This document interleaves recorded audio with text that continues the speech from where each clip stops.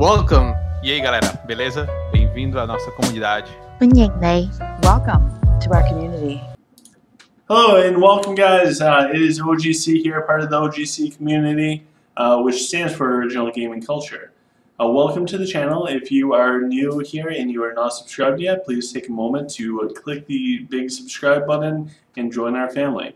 Today we're going human. Uh, this is a preview of what my store's look like. Uh, 147,000 HP at level 14, and the archers, when gold, are 135,000 attack.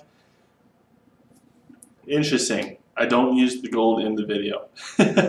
but I show you the gold just so that uh, I can show you the gold and say that, hey, I showed you the gold. So, um, welcome. The patch just came out earlier today. This is patch 1.2.1.20. And uh, we're going to go test out the human race because they are insanely overpowered. That's the only thing I heard all day while I was at work. I came home and I was like, you know what? Time to hit some towers. So the setup I'm using is uh, a lot of heroes, and the heroes will pretty much carry.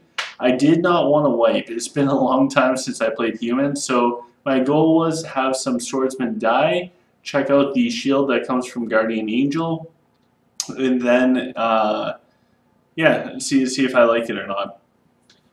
Important to note. Uh, actually, before I even point out the important to notes, these everything from this patch is taken from League of Legends. So we have Guardian Angels, uh, which is a, a, an item from League of Legends on, on the swordsman. The trees got Thornmail, which is Thornmail from League of Legends. Like it's uh, it, it's crazy. If you look at that uh, the snake skin armor and then you search for Warmogs in League of Legends, identical, literally identical. But I digress. So, anyways, this is League of Legends, but a major RPG style. Um, uh, Avalon, Elana, and Varian all had their masteries changed and updated. So now if a unit gets a moral boost, uh, so archers for Avalon, cavalry for Elana, swordsman for Varian, the moral boost is actually going to be extended, which is absolutely huge for Varian reducing damage uh, through his Crusader shield. Um, it, it's just massive overall. So here, um, for this siege, only three swordsmen died. Uh, humans are too overpowered. Everybody's going to switch to them. And yeah, I, I couldn't really test out the, the shields. I'm pretty happy with their performance overall when it comes to uh, attacking the, the garrison.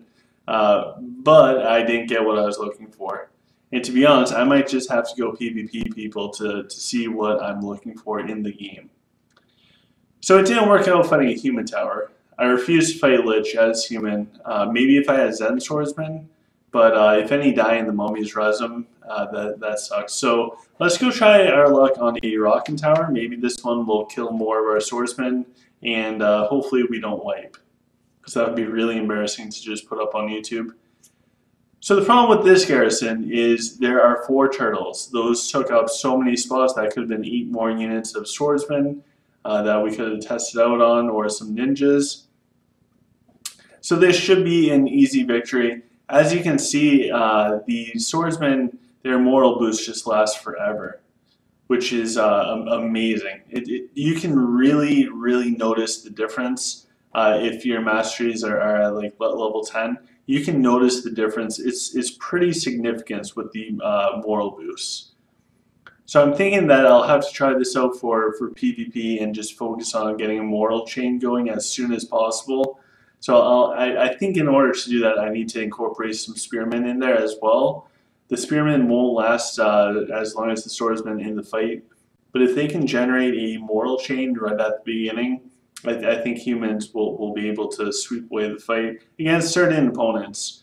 Now that Lich had, has insane scorpions, um, Lich probably got the best out of uh, the, the enlightenments, to, to be honest. Um, at, at least for th this uh, this new segment of them. I, I think their scorpions are, are by far the, the most crazy.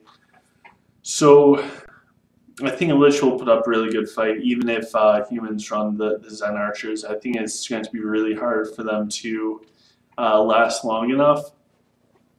But anyways, we did not lose a single swordsman going up against this rock, and so we were not able to test out this shielding. Um, we'll try one more, and we'll go up against a Sylph Tower. Uh, we'll pick the 4800 power one and go up against that. I did try out the trees. Uh, so I tried out the, uh, it must have been the Zen trees for the Thornmail, and I was really disappointed with it. It, it, it seemed very lackluster, not noticeable. Um, I, I, was not uh, impressed with the Thornmail of the trees. And granted, my, my trees had like level 13 uh, chakra, really high HP. I was hoping it would reflect back a lot of damage. It just didn't do anything. So definitely disappointed with that. The dire trees, uh, I do, I still do want to test those out with the summon saplings. I think that would be pretty cool overall. But uh, yeah, for for now, we're we're going to go human, try out some some things. Um, I have a couple of ideas for human that I want to try out. I'm going to run it by the people that know a lot more in the the, the game. Uh, that know a lot more about the game in the house that I'm in, and uh, if they don't approve of my human stuff, then I'll go back to Sylph for Clash of Fate.